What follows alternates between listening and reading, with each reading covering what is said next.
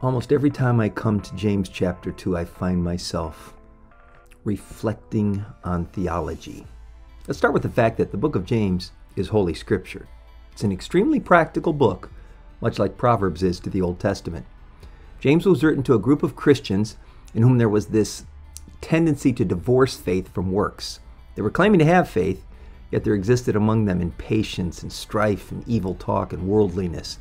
James makes clear that a faith which does not produce holiness of life is a dead thing.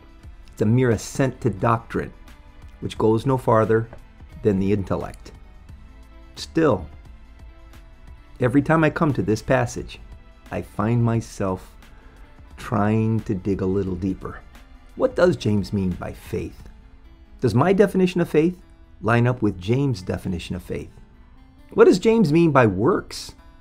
The answer to that question, by the way, is obvious. He answers it very clearly in verses 15 and 16, 21 and 25.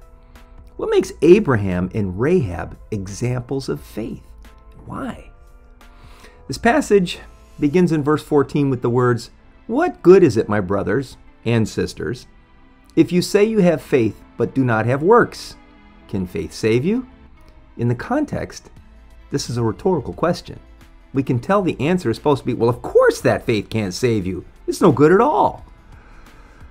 One thing this passage can do for Christians is make us confront our own thinking about the way we live our Christian life. The perennial question of, what do we have to do to be saved? It's not really the question that James is asking. The question of salvation, whether we have it or we don't have it, it, it, it doesn't preoccupy James' thinking, but it sure does a lot of Christians. In many of our churches, salvation is the only focus of Christian preaching and teaching. It's easy to get the idea that the only thing that matters in church is whether or not we can get people to pray, Dear Jesus, come into my heart, amen. And after that question's answered, nothing else matters. That's not a biblical Christianity.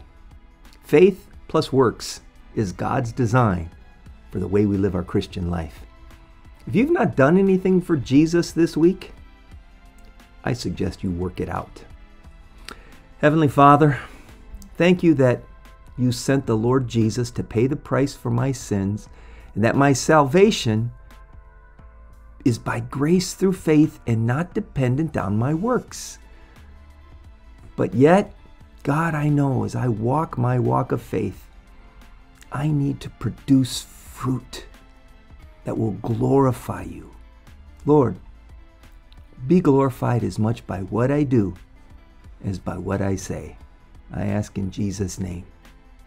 Amen. God bless you. See you tomorrow.